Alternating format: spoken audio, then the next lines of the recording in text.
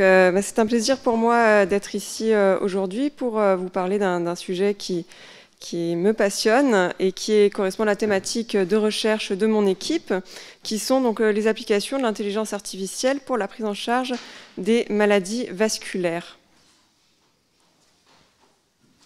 Alors on l'a vu, hein, l'intelligence artificielle a donné lieu à de nombreuses applications dans des domaines très variés, euh, que ce soit les transports, les médias, euh, la télécommunication, l'informatique. Et donc, il existe un intérêt grandissant des applications de l'IA dans le domaine de la santé. Donc, les premiers travaux euh, qui s'intéressent aux applications de l'IA en médecine datent des années 70. Et le développement de nouvelles techniques, en particulier le développement du machine learning, ont ravivé l'espoir de développer des nouveaux outils grâce à l'intelligence artificielle pour la pratique clinique. Donc, euh, comme euh, nous l'avons vu tout à l'heure, euh, l'intelligence artificielle, c'est un domaine qui est très vaste et on peut très schématiquement distinguer trois grands champs. En tout cas, pour ce qui va s'appliquer dans le domaine de l'IA en santé. Donc, il y a le domaine de la vision qui correspond aux applications de l'IA pour tout ce qui est analyse d'images.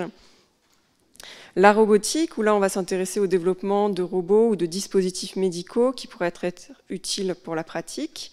Et enfin, donc, le Natural Language Processing, qui correspond aux applications de l'IA pour l'analyse du langage euh, oral ou également écrit. Et donc, on va se servir de différents outils, en particulier du machine learning ou euh, du deep learning. Et donc, dans le domaine euh, médical, l'IA peut donner des applications qui peuvent être aussi bien utiles pour la pratique clinique que pour la recherche médicale. Et on peut euh, encore de façon très schématique distinguer deux branches, une branche physique à laquelle on va vraiment s'intéresser à euh, développer des robots ou des dispositifs médicaux, et une branche virtuelle dans laquelle on va plutôt s'intéresser à développer des logiciels, des programmes informatiques qui pourraient être utiles pour les cliniciens.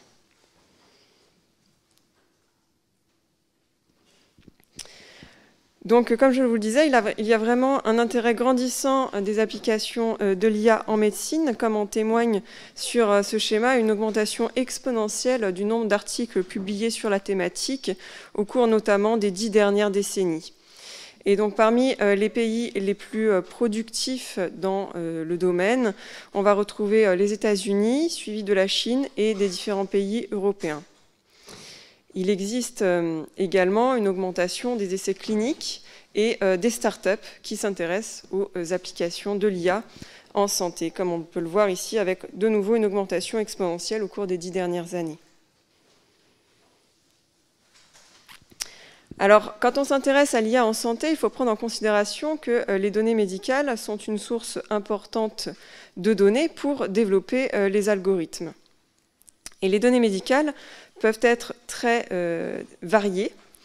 on peut euh, prendre en considération les données cliniques des patients que l'on va retrouver dans les dossiers médicaux, qui peuvent être sous format électronique ou encore sous forme manuelle. On peut aussi euh, collecter les données physiologiques des patients.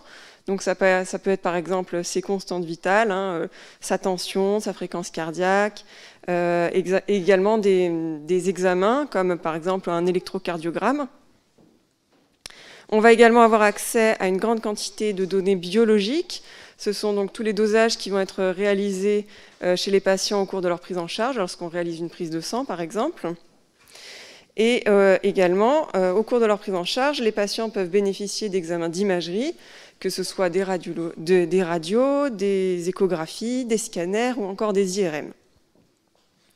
Enfin, dans le domaine de la santé, on peut également collecter et s'intéresser aux données environnementales si on veut étudier euh, l'impact de l'environnement euh, sur la santé. Donc là aussi, un grand nombre de données. On peut s'intéresser à l'air, l'eau, l'alimentation des patients, etc.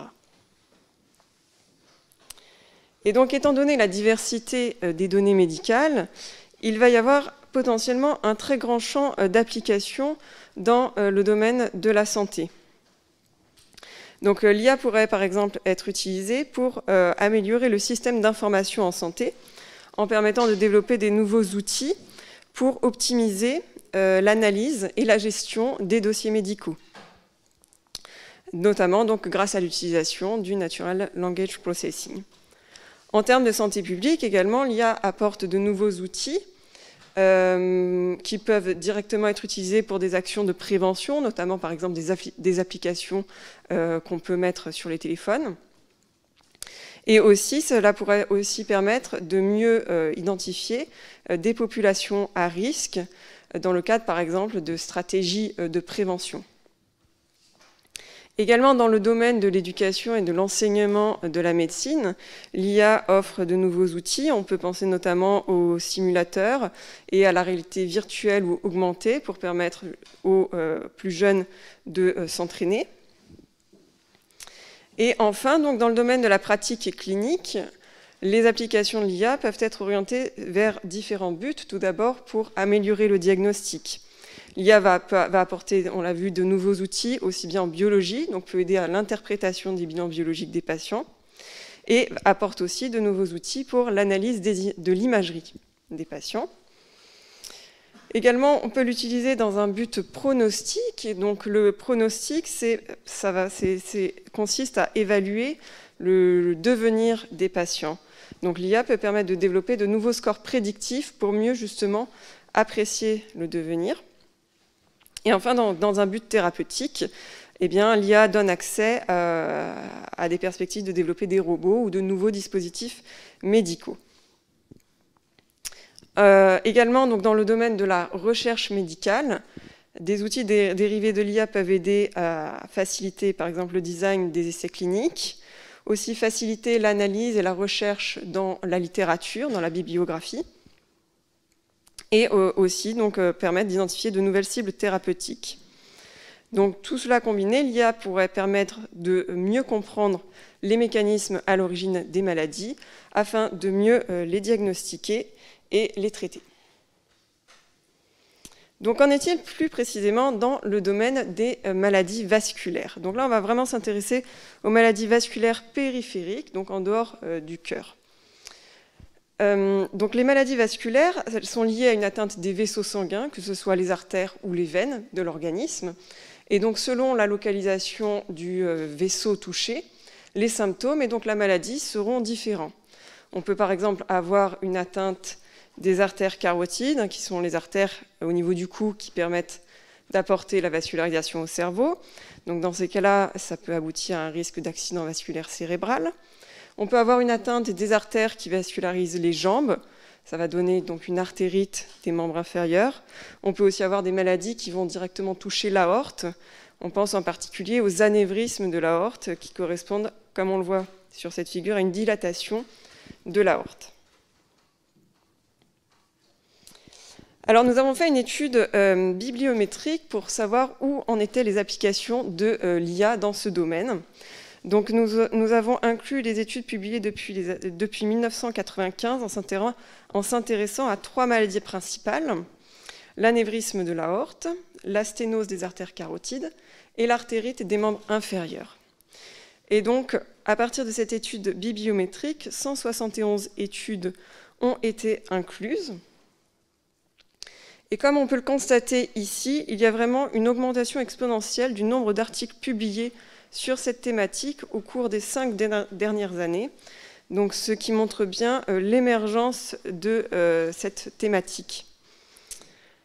Alors, ce qui était aussi intéressant, c'est que quand, on regardait euh, la catégorie des journaux dans lesquels les articles étaient publiés, dans 75% des cas, c'était des journaux vraiment orientés vers l'informatique, les mathématiques appliquées ou la bioingénierie. Donc cela suggère que pour l'instant, dans, cette thématique, euh, on en est vraiment au stade du développement technique, des fondations techniques, avant que ces outils soient réellement utilisés en pratique clinique. Et enfin, quand, nous avons regardé euh, quels étaient euh, les auteurs qui publiaient, quels étaient les centres qui étaient vraiment impliqués dans ce domaine, on s'est aperçu que dans 80% des cas, les centres étaient affiliés à un seul pays. Et donc dans 20% des cas, il y avait des collaborations internationales. Et je pense que, vu le développement euh, de, ce domaine, euh, à l'avenir, il y aura de plus en plus de collaborations au niveau international. Et donc, parmi les pays les plus productifs, dans euh, les applications de l'IA pour les maladies vasculaires, on retrouvait les États-Unis en, tête de file, suivi du Royaume-Uni, de la Chine et euh, des autres pays européens. Donc la France se situait dans euh, le top 10.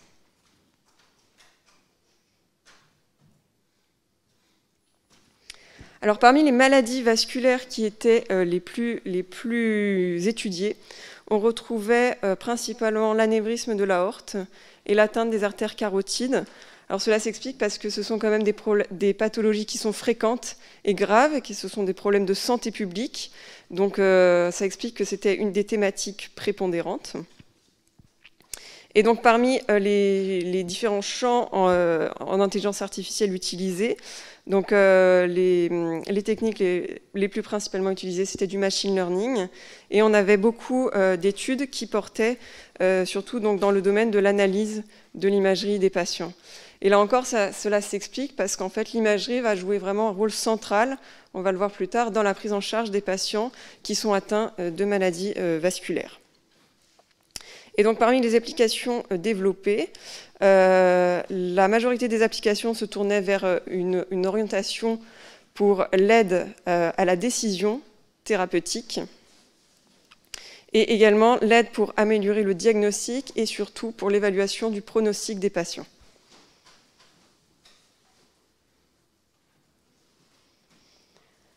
Donc nous avons vu euh, dans cette introduction quels, étaient les domaines d'application possibles de l'IA en santé et en particulier dans les maladies vasculaires? Je vous propose maintenant de découvrir des exemples concrets au travers d'une pathologie en particulier qui est euh, l'anévrisme de l'aorte.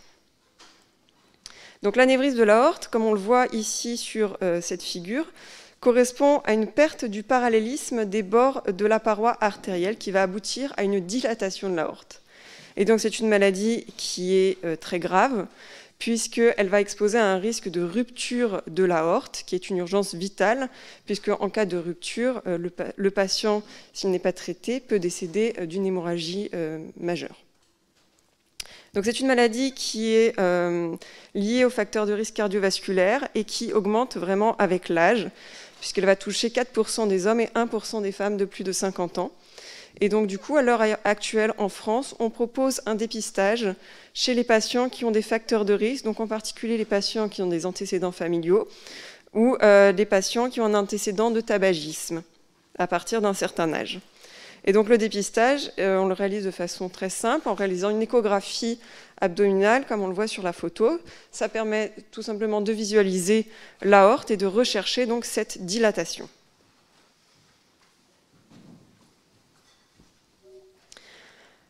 L'imagerie va jouer un rôle central dans la prise en charge des patients atteints d'anévrisme, puisqu'elle va permettre de diagnostiquer la maladie. Elle va permettre aussi de euh, préparer euh, s'il y a besoin, une intervention chirurgicale. Elle va permettre donc au chirurgien d'effectuer toutes les mesures pour préparer son intervention. Et également, l'imagerie va être utilisée après pour suivre les patients une fois qu'ils sont traités. Donc on a différentes techniques d'imagerie qui sont à disposition. Euh, l'échographie abdominale reste l'examen de choix pour le dépistage parce que c'est un examen qui est rapide, facile à faire. Ensuite, le scanner injecté, ou angioscanner, c'est l'examen qui est le plus couramment utilisé euh, en pratique parce qu'il va permettre une visualisation euh, très fine de l'anévrisme grâce, comme on peut le voir ici, aux reconstructions 3D. Et enfin, donc, si le patient a une contre-indication pour réaliser un angioscanner, on peut avoir recours à une IRM injectée.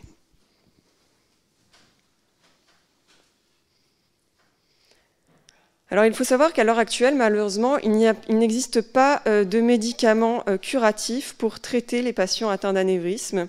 Et donc euh, le seul traitement curatif va reposer sur la chirurgie. Donc cette chirurgie peut être réalisée de deux façons. Soit on peut réaliser une chirurgie par voie ouverte ou dite conventionnelle, c'est-à-dire qu'en fait on va ouvrir la cavité abdominale en réalisant une laparotomie pour pouvoir accéder à l'aorte et introduire une prothèse, comme on le voit ici, qui va permettre d'exclure l'anévrisme. On peut également réaliser une chirurgie par voie endovasculaire. Donc dans ces cas-là, le chirurgien va réaliser euh, une voie d'abord percutanée au niveau des artères fémorales pour pouvoir monter et guider une endoprothèse dans l'aorte qui va permettre, là encore, d'exclure l'anévrisme. Et donc tout anévrisme qui est douloureux ou rompu doit être immédiatement traité, c'est une urgence vitale. Par contre, quand on est devant un patient qui est asymptomatique, pour lequel on découvre par hasard qu'il a euh, un anévrisme, la grande question que se posent les médecins en pratique, c'est doit-on ou non traiter cet anévrisme? Alors avec les recommandations actuelles, on préconise de traiter l'anévrisme lorsqu'il atteint une certaine taille, euh, que l'on va évaluer en mesurant le diamètre de l'aorte. Néanmoins, les cliniciens sont confrontés à un réel manque d'outils en pratique, puisqu'en fait, différentes études ont montré que des anévrismes de petite taille, inférieurs au seuil pour le traitement, ne vont pas être traités et peuvent finalement évoluer vers une rupture. Et à l'inverse, parfois, des anévrismes de grande taille vont être traités, alors que peut-être ils n'auraient jamais évolué vers une rupture. Donc c'est en cela que l'intelligence artificielle pourrait apporter euh, de nouveaux outils pour combler ces manques qui existent en pratique médicale. Et donc différentes études euh, ont euh, montré que le machine learning pouvait être utilisé pour développer des scores prédictifs donc, euh, en particulier, pour permettre de mieux prédire le risque de croissance de cet anévrisme et le risque de rupture. Donc, ce type de technique pourrait à terme permettre de développer des logiciels qui pourraient aider à calculer un score prédictif personnalisé, adapté à chaque patient, pour pouvoir mieux guider dans euh, la prise de décision thérapeutique. La question étant, doit-on surveiller l'anévrisme doit-on le traiter Et si on doit le traiter, par quelle technique? Vaut-il mieux favoriser une chirurgie ouverte ou une chirurgie par voie endovasculaire? Également, différentes études récemment ont utilisé le machine learning pour développer des scores prédictifs euh, qui permettent de prédire le risque de mortalité post-opératoire lorsque le patient est opéré. Et là encore, cela pourrait être très utile pour la pratique clinique. Euh, pour pouvoir euh, aider le clinicien à mieux évaluer euh, le risque, la balance bénéfice-risque, lorsqu'il pose une indication à traiter le patient.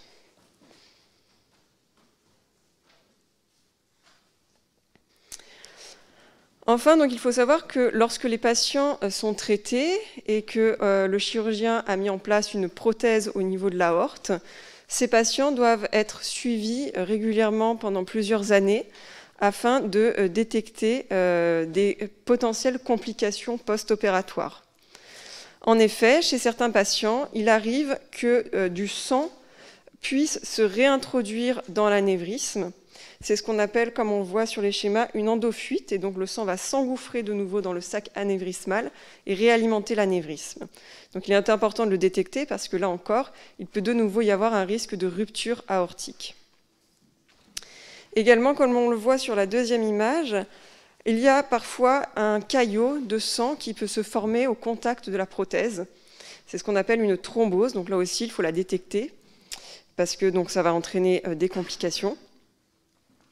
Et euh, parfois aussi, la prothèse peut euh, légèrement se déplacer ou parfois se déformer. Comme on peut le voir sur l'image, ici, il y a une coudure qui s'est formé au niveau de la prothèse et donc qui euh, entrave l'écoulement du sang. Et donc euh, des études pilotes ont été réalisées, euh, notamment en utilisant des réseaux de neurones, et ont montré des résultats encourageants pour permettre de mieux prédire le risque de complications post-opératoires lorsque l'on met en place une prothèse chez un patient. Donc, en parallèle de développer des scores prédictifs pour mieux apprécier le pronostic des patients, euh, l'IA peut aussi euh, être utilisée pour euh, les patients qui ont un anévrisme afin d'améliorer l'analyse de l'imagerie. Nous, avons vu, l'imagerie joue un rôle central, elle permet de diagnostiquer, de préparer l'intervention chirurgicale et de suivre les patients après l'intervention. Alors il faut savoir que les, logiciels qui sont commercialisés et actuellement euh, disponibles en pratique clinique quotidienne sont tous des logiciels semi-automatiques, c'est-à-dire qu'ils vont nécessiter une intervention euh, d'un opérateur expert et entraîné pour pouvoir interpréter euh, le scanner et aussi pour pouvoir effectuer toutes les mesures sur ce scanner. En particulier, le chirurgien va mesurer les diamètres, les longueurs des vaisseaux pour pouvoir commander des prothèses qui sont adaptées à l'anatomie du patient. Et donc toutes ces tâches euh, sont euh, complexes, fastidieuses, nécessitent du temps et surtout sont sujettes à un risque de variation selon les opérateurs. Et donc l'IA, justement, pourrait apporter de nouveaux outils en permettant d'automatiser euh, ces process et en permettant d'améliorer la segmentation d'images. Donc segmenter, c'est euh, une opération de traitement d'image qui a pour but de rassembler des pixels entre eux suivant des critères définis. C'est ce qui permet d'analyser euh, les images médicales, donc dans différents buts. Cela va nous permettre de localiser les régions euh, d'intérêt, d'analyser les contours, de créer des reconstructions en 3D et, si besoin, d'effectuer des mesures quantitatives. Alors par le passé, différentes techniques semi-automatiques ont été développées pour pouvoir reconnaître l'arbre vasculaire. Donc euh, notamment, une des techniques très utilisées, c'est la méthode des contours actifs qui va permettre de reconnaître les vaisseaux euh, grâce à la reconnaissance de leur forme géométrique et de leur variation dans l'espace. Et donc euh, différentes équipes ont développé des techniques différentes qui permettent de reconnaître les vaisseaux en plusieurs étapes. Donc on va d'abord localiser la lumière du vaisseau, c'est vraiment l'intérieur du vaisseau, et on va distinguer aussi la paroi, le bord externe qui est la paroi du vaisseau. Et puis ces techniques se sont ensuite euh, complexifiées en ajoutant différentes étapes, mais elles restaient toutes semi-automatiques et nécessitaient toujours un opérateur humain entraîné pour pouvoir euh, initier la localisation du vaisseau et ensuite initier les mesures. Donc c'est dans ce contexte que euh, l'objectif et le but de mon équipe, c'était de créer un logiciel complètement automatique pour analyser le scanner des patients qui ont un anévrisme. Et donc, euh, nous avons développé euh, une méthode qui a été publiée, qui, était au départ basée sur un système expert, c'est-à-dire donc un enchaînement de règles préprogrammées. Et donc, les principales étapes euh, dans la segmentation de l'image étaient les suivantes. Donc, il y avait un pré-traitement de l'image, Ensuite, le logiciel segmentait et reconnaissait la lumière aortique, c'est-à-dire vraiment l'intérieur euh, du vaisseau. Et puis, nous voulions non seulement avoir euh, des analyses quantitatives, mais nous voulions aussi pouvoir caractériser de façon fine la morphologie de l'anévrisme. Donc, il faut savoir que parfois, au contact de l'anévrisme, il y a des caillots de sang qui, viennent se coller. C'est ce qu'on appelle un thrombus. Donc, nous voulions que le logiciel puisse reconnaître la présence de thrombus collés à la paroi de l'anévrisme. Et aussi, parfois, euh, au niveau de l'anévrisme, il y a des calcifications qui vont se former. Et donc, nous voulions aussi pouvoir euh, analyser ces calcifications. Et donc, notre méthode nous a permis d'obtenir une détection automatique, donc complètement automatique, sans intervention d'un opérateur, pour caractériser l'anévrisme. En particulier, donc, cela permet de le localiser euh, au niveau de la horte, de mesurer son diamètre et son volume, et aussi de détecter donc s'il y a des calcifications qui apparaissent ici euh, en bleu sur l'image, et aussi de détecter la présence d'un caillot, d'un thrombus intraluminal que vous voyez en vert euh, sur l'image.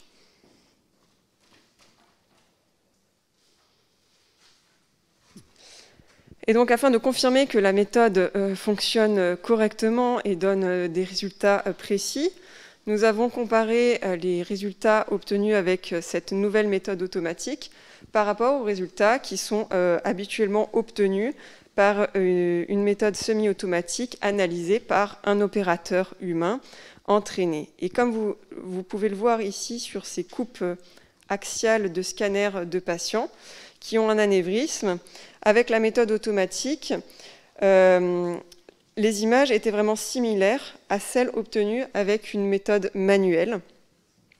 Donc le logiciel était capable de euh, distinguer de façon très précise la lumière de l'aorte qui apparaît en rose et euh, de distinguer la présence de thrombus, de caillots qui apparaissent en vert sur l'image. Et donc il y avait une excellente corrélation entre la méthode automatique et la référence qui était la segmentation manuelle par un opérateur humain entraîné. Donc ce logiciel permet une analyse à la fois robuste mais également rapide euh, pour caractériser l'anévrisme euh, des patients.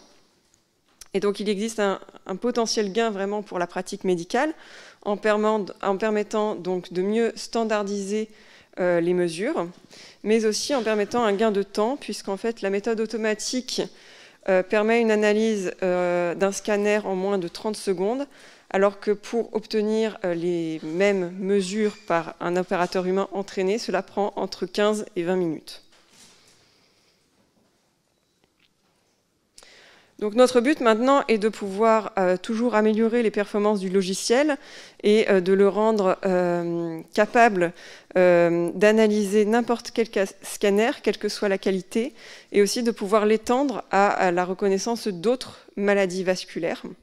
donc nous avons d'ailleurs ajouté des algorithmes de deep learning pour améliorer les performances de la méthode.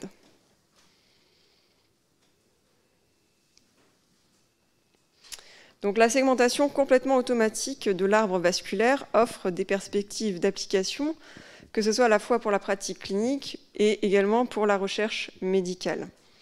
Donc pour la pratique clinique, le gain, c'est de pouvoir faciliter la mesure euh, des vaisseaux en améliorant euh, la reproductibilité et en permettant un gain de temps. Donc à terme, ce genre de logiciel pourrait euh, faciliter la préparation de l'intervention chirurgicale par le chirurgien pour effectuer toutes ces mesures afin de commander des prothèses qui soient adaptées à l'anatomie du patient.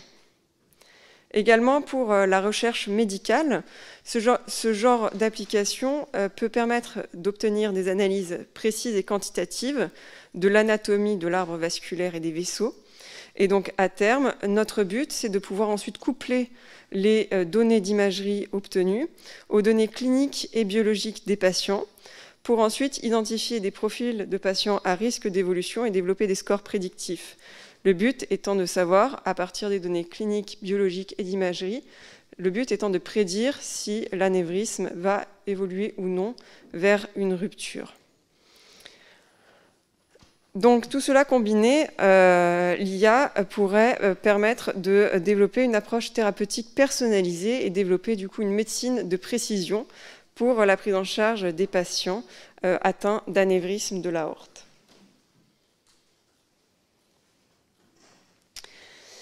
Automatiser euh, l'analyse de l'imagerie des patients euh, en chirurgie vasculaire est un enjeu majeur et il existe également d'autres équipes en France qui travaillent sur ce sujet. donc on peut citer notamment Bordeaux, Paris, également Saint-Étienne.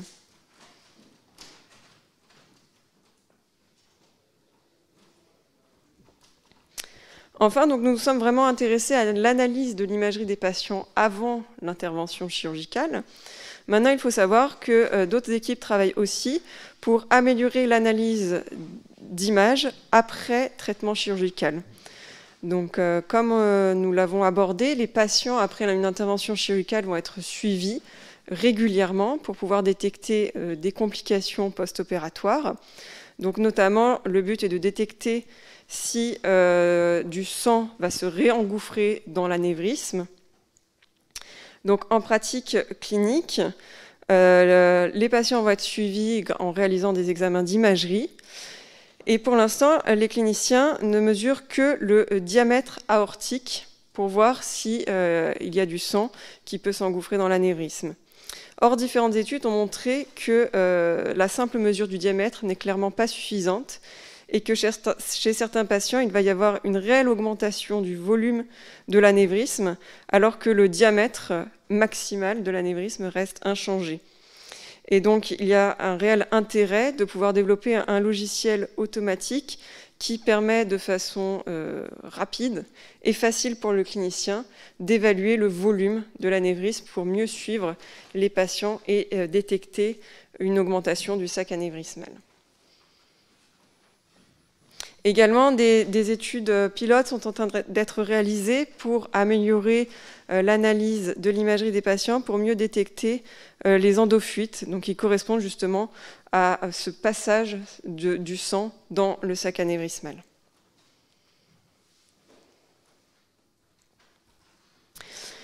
Et enfin, euh, il y a également d'autres chercheurs qui s'intéressent vraiment à mieux étudier le comportement euh, de la prothèse aortique chez le patient. Donc, euh, notamment, ils cherchent à hum, prédire comment cette prothèse va se déployer en fonction de l'imagerie préopératoire des patients. Et ils cherchent également à déterminer comment elle va évoluer à long terme et à mieux identifier des facteurs qui pourraient prédire les complications liées à la prothèse, comme des déplacements ou des fractures ou des coups durs euh, des stents.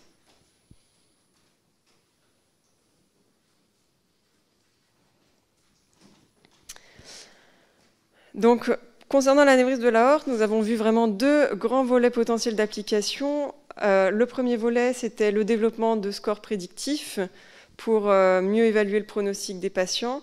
Le deuxième volet était améliorer l'analyse d'images des patients. Et donc, euh, je vais terminer sur ce, dernier exemple concret qui est toujours dans l'imagerie, l'utilisation de la réalité virtuelle et de la réalité augmentée euh, en chirurgie euh, vasculaire grâce à l'utilisation de casques ou de smart glasses, donc de lunettes dites intelligentes. Donc juste pour faire un bref rappel de ce qu'on entend par réalité virtuelle, augmentée ou mixte. Donc dans la réalité virtuelle, l'opérateur va euh, porter un casque et il va être plongé dans un monde qui est complètement artificiel, virtuel. Dans la réalité augmentée, les images virtuelles vont être projetées dans le champ de l'opérateur sous la forme d'hologramme, mais l'opérateur va quand même garder sa vision du monde réel. Donc les images virtuelles vont être projetées dans le monde réel. Et dans la réalité augmentée, l'opérateur va en plus pouvoir être capable d'interagir avec les images virtuelles. Et donc, euh, c'est un domaine qui est euh, en expansion euh, dans le domaine du traitement des maladies vasculaires et qui ont montré un intérêt potentiel dans différentes applications. Donc ce genre de technologie déjà peut apporter de nouveaux outils pour la formation et l'entraînement des chirurgiens grâce à l'utilisation de simulateurs. Également, euh, il pourrait aussi aider le chirurgien à mieux préparer l'intervention chirurgicale en lui offrant un outil interactif qui permet une visualisation en 3D très précise de l'anatomie du patient à partir des examens réalisés en préopératoire. Et enfin, euh, cette technologie pourrait aussi améliorer la, visualisation des structures anatomiques et mieux guider euh, le geste opératoire. Donc on va le voir ici, un exemple très concret des études euh, pilotes qui, ont été réalisées avec l'utilisation de casques de, réalité augmentée par euh, un chirurgien euh, au bloc opératoire. Et donc, comme on le voit ici, il peut visualiser pendant l'intervention l'imagerie des patients. Et le casque, en fait, est commandé euh, par une commande vocale, ce qui lui permet de garder les mains libres et de garantir les conditions de stérilité. Donc, cela pourrait à terme lui permettre de mieux guider son geste, tout en améliorant l'ergonomie et le confort. Voilà, donc nous avons vu qu'il y a des perspectives très prometteuses pour la pratique clinique. Néanmoins, euh, de nombreux challenges restent encore à relever euh, pour pouvoir espérer euh, une application de l'IA au quotidien dans la prise en charge des patients. Et donc, donc comme, comme évoqué déjà tout à l'heure, donc il faut savoir que les algorithmes développés nécessitent un gros volume de données et que les algorithmes vont être très dépendants aussi des données utilisées pour l'apprentissage. Et donc il faut vraiment arriver à avoir des données qui soient euh, variées et le plus et très représentatives euh, pour qu'elles soient ensuite généralisables à l'ensemble de la population. Les données médicales également peuvent être hétérogènes, de qualité variable, stockées sous différents formats. Donc il y a une réelle nécessité de standardiser les données pour mieux les analyser. Enfin, quand on analyse les données médicales, eh bien, bien sûr se posent euh, les questions éthiques et euh, il y a une réglementation très stricte hein, afin de pouvoir garantir la sécurité et la protection des données. Donc tout ceci nécessite des plateformes et des infrastructures adaptées qui ont au départ bien sûr un coût à la mise en place, mais qui à terme peuvent euh, aboutir à des retombées importantes en termes de prise en charge des patients. Ces applications donc, euh, ont besoin d'être validées par, euh, les professionnels de santé. Et donc, euh, travail de, les approches transdisciplinaires et la collaboration entre les cliniciens et les ingénieurs, les experts en mathématiques appliquées et bioinformatiques est primordial afin de développer des applications pertinentes pour la pratique dans les meilleures conditions possibles. Et pour terminer, euh, quand on parle d'IA euh, en santé, eh cela amène bien sûr des considérations éthiques et culturelles sur quelle va être la perception par les patients ou les professionnels de santé. Euh, certains professionnels de santé peuvent craindre de se voir remplacés par une machine ou un programme informatique. certains patients peuvent craindre aussi que cela va impacter la relation médecin-malade. Euh, en tant que médecin, euh, moi je suis persuadée que l'IA ne remplacera jamais euh, l'expertise des professionnels de santé, mais qu'au contraire, elle va pouvoir lui, apporter de nouveaux outils pour améliorer les pratiques et la prise en charge des patients. Voilà, donc je, remercie toutes les équipes avec lesquelles je travaille, le centre hospitalier de Nice, le centre hospitalier d'Antibes, l'Institut 3IA, l'Université Côte d'Azur, le Centre méditerranéen de médecine moléculaire et également les ingénieurs euh, de mon équipe donc, qui sont affiliés à Centrale Supélec. Merci. Merci infiniment. Merci beaucoup.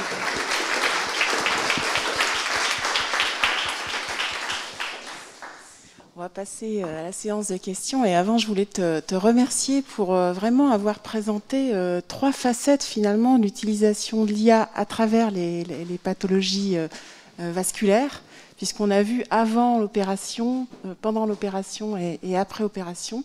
Et donc, euh, merci beaucoup d'avoir donné cet éclairage qui présente en fait toute la variété des outils qu'on peut construire avec de l'IA.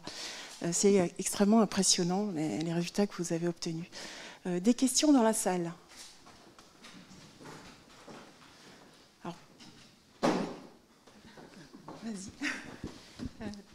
Merci pour ton exposé. Euh, tu nous as montré euh, des, choses qui utilisent euh, de l'imagerie. Et est-ce que vous utilisez, vous ajoutez d'autres modalités, d'autres types de données dans, ces applications? Est-ce que c'est un truc que vous envisagez Alors oui, c'est vrai, vraiment le but en fait du, du, projet de recherche. Donc initialement, c'est surtout focalisé sur l'analyse d'images parce que c'était vraiment le manque qui était flagrant pour la pratique des cliniciens. Et donc maintenant qu'on a ce nouvel outil, le but c'est vraiment de pouvoir s'en servir pour euh, le coupler aux autres données euh, que, nous, avons déjà des patients. Donc les données cliniques, on a également des données biologiques. Et donc maintenant, le but, c'est vraiment de, coupler euh, ces, ces, trois types de données pour développer des scores prédictifs, donc pour mieux prédire le risque de croissance de l'anévrisme, le risque de rupture. Et également, on va s'intéresser à, à développer aussi des scores prédictifs du risque de complications post-opératoires. Dans le cadre de des prédictions euh, sur une intervention, et la pertinence d'une intervention en cadre de l'anévrisme, euh, vous avez fait une méta-étude à partir de données. J'imagine qu'il y a des études statistiques là-dessus pour savoir euh, s'il était pertinent ou pas d'intervenir en fonction du volume de l'anévrisme ou pas. Est-ce que là, l'IA apporte une vraie plus-value, c'est-à-dire qu'elle fait une plus-value par rapport à des études statistiques standards? Parce que là, pense n'y a, pas des quantités gigantesques de données. Oui, alors en fait, il y a deux aspects euh, des apports de l'IA pour, euh, pour cette question. La première, c'est que en fait, euh, alors certes, donc les, études cliniques qui ont déjà été réalisées ont mis en évidence certains facteurs prédictifs, en particulier donc la taille de l'anévrisme. Et en pratique clinique, les cliniciens en fait ont des outils finalement qui sont très pauvres pour évaluer la taille de l'anévrisme, puisqu'ils vont simplement mesurer le diamètre maximal de l'anévrisme, qui finalement ne reflète pas forcément le volume. Donc déjà, l'IA pourrait aider à mieux évaluer des données, des données morphologiques de l'anévrisme euh, qui sont relativement intuitives. Et d'autre part, donc ça c'est le premier aspect, c'est-à-dire donc euh, mieux, mieux évaluer, mieux optimiser, les, optimiser les, analyses que l'on a déjà. Et le deuxième volet, justement, c'est euh, grâce à l'utilisation du machine learning, on pourrait justement découvrir de nouveaux, enfin, des, des, profils de patients ou des nouvelles combinaisons de données qui permettent justement de mieux prédire comment le patient va, va évoluer. Oui. Vous avez parlé d'argent pour votre recherche, vous avez bien fait. Euh, mais ensuite, euh, quand on veut déployer ça, quel est l'ordre de grandeur de l'effort et du coût pour, euh, en termes de texte clinique, de FDA ou ce genre de choses? Alors, c'est extrêmement difficile de vous donner un coût, si on parle, ça, tout dépend en fait si on parle à l'échelle individuelle juste d'un projet ou si on parle de vraiment euh, à terme euh, évoluer et changer euh, dans les pratiques médicales. Mais il est évident que ces changements passent aussi par le biais de développer voilà, des, plateformes et des infrastructures qui permettent de, d'analyser, de, collecter les données dans les conditions optimales techniques et qui permettent aussi de, mieux analyser ces données. Euh, donc je ne pourrais pas vous, vous, donner un coût. Euh, je ne peux pas vous donner un coût, tout dépend en fait euh, à quelle échelle on raisonne, si on raisonne juste à l'échelle individuelle d'un projet ou d'une équipe de recherche sur une thématique. tout dépend si on raisonne de ce point de vue ou du point de vue plus général institutionnel. Oui, j'avais quelques questions sur les, potentiellement les difficultés fondamentales qu'on peut avoir pour ce, genre de problème de prédiction. Donc il y en a une qui était la, dépendance dans le, type de données que l'on utilise, c'est-à-dire est-ce que lorsqu'on déploie un système de prédiction à partir d'images produites par un appareil spécifique, ça va fonctionner si on prend, on va dire déjà même le même appareil, mais euh, produit par le même fabricant est-ce que ça va fonctionner chez un appareil d'un type différent du même fabricant? Est-ce que ça va fonctionner chez un appareil d'un autre fabricant? Est-ce qu'on a des difficultés importantes à ce niveau-là? Alors euh, oui, ça fait, partie des enjeux. Euh, après, nous, de notre expérience, euh, en général, quand on a accès aux données d'imagerie des patients, ne serait-ce que dans un centre, souvent en fait l'imagerie est réalisée euh, en ville ou dans différents centres. Donc déjà, dans, un seul centre, on a accès à euh, au moins une dizaine de fournisseurs euh, différents. donc la variabilité, c'est pas, la difficulté ne va pas, c'est pas la difficulté majeure. Donc évidemment, le but est, d'avoir des données qui soient le plus possible variées et diverses pour entraîner l'algorithme. Mais la question du fournisseur, finalement, ça n'a pas été le le frein le plus, le plus majeur euh, pour nous. Pour moi, la, le, réel enjeu, c'est vraiment d'obtenir euh, des données de patients qui proviennent de, régions euh, géographiques différentes, de démographies différentes, et qui, qui, puissent le plus, être du coup le plus possible représentatif de l'ensemble de la population en général. D'accord, merci.